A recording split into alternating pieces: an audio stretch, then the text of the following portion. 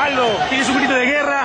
¿Cómo expresar este momento, estos sentimientos, Aldo? Es hermoso, es hermoso. Gracias a Dios, quiso esto. Esto se debo a Dios, a mi familia, nada más. A ellos nada más se debo, nada más. Eres el más eufórico, el más emocionado, Aldo. ¿Por qué? Porque soy campeón.